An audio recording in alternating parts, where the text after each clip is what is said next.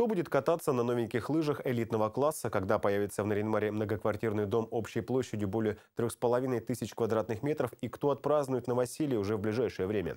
Эти вопросы рассмотрели на очередном заседании администрации Ненецкого округа.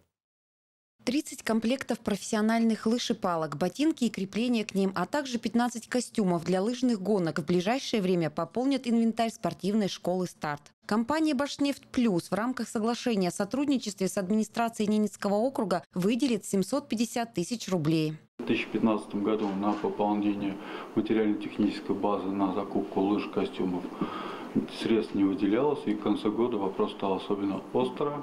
Нехватка лыжного инвентаря, по словам сотрудников, связана с тем, что за последние два года значительно возросло количество детей, желающих заниматься лыжным спортом.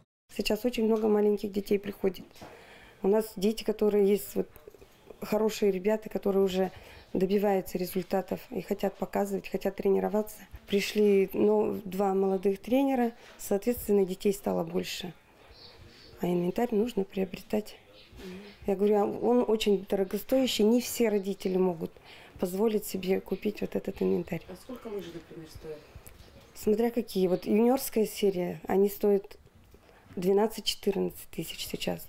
Элитные лыжи последние 30 тысяч стоят. Новый инвентарь, по словам Надежды Детковой, не только улучшит материально-техническую базу, но и позволит добиться хороших спортивных результатов. Улучшит жилищные условия жителей округа, позволит строительство многоквартирного дома. Решение об инвестировании бюджетных средств в строительство дома также приняли на заседании. Положительные заключения получены со всех сторон. Замечания Департамента финансов учтены. То есть в проекте изменены изменена сумма на 2017 год на 82 миллиона 982 тысячи. Строительство нового семиэтажного дома на пересечении улиц Полярной и Пырерки в Наринмаре начнется летом. Окончание строительства запланировано на конец 2017 года. Общая площадь составит более 3000 квадратных метров. В доме будет 21 двухкомнатная квартира и 20 однокомнатных. Новые квадратные метры планируется направить на реализацию программы переселения из ветхого и аварийного жилья. Максимальный объем инвестиций предусмотрен в объеме чуть более 163 миллионов рублей. Окончание Окончательная стоимость определится после проведения конкурсных процедур. В марте-апреле текущего года казенное учреждение Ненецкого округа «Централизованный стройзаказчик» намерено провести торги на строительство дома. Также на заседании администрации округа принято решение о безвозмездной передаче в собственность Наринмара квартир в новом доме по улице Заводской.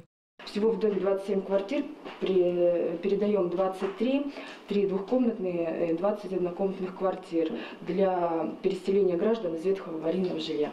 В Департаменте строительства ЖКХ, энергетики и транспорта Ненецкого округа отмечают, что в течение последних нескольких лет в регионе наблюдаются стабильные темпы роста строительства жилья. Так, в 2013 году было введено чуть более 40 тысяч квадратных метров жилья, а в 2014 году уже около 44 тысяч. При этом более 80% от введенного объема составляет жилье экономического класса. Любовь Пермякова, Вадим Стасюк, телеканал «Север».